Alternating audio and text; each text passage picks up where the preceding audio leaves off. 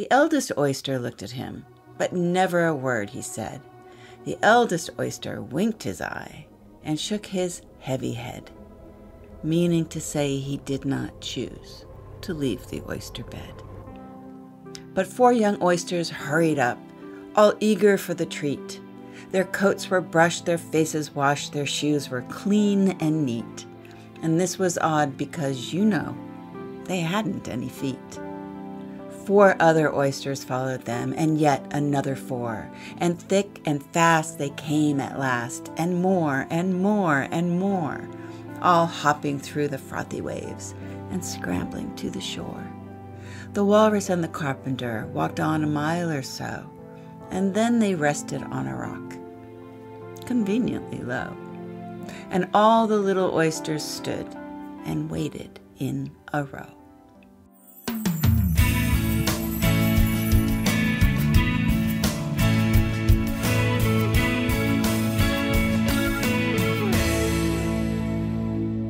That is Lewis Carroll's Walrus and the Carpenter uh, from Alice Through the Looking Glass. And it is a snippet from the poem uh, that I have adored and loved ever since I was a child. My 29 year old son will tell you that because I was obsessed with it. I've always loved it. And I didn't realize until recently why.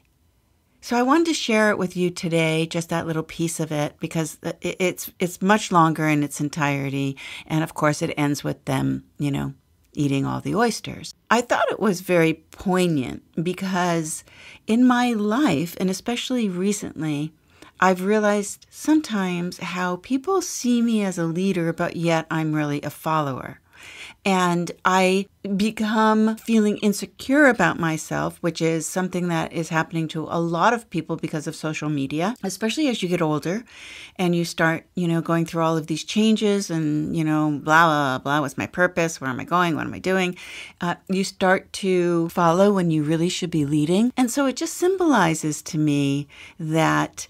Um, you know, the oysters, they were following the walrus and the carpenter the one elder oyster was the one that was wise and knew that he wasn't going to follow them because he knew the road that they were taking them down.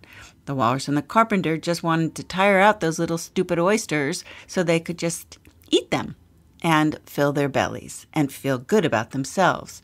They didn't really care at all about the oysters. And I don't even know if they had any respect for the elder oyster that sat fat and happy so the next time you start to feel sorry or bad about yourself because you're following other people, what is it that they're manipulating in you that makes you feel as though you need to follow them and feel bad about yourself? So you can what? Get eaten alive. I'd like to hear what you have to say about that.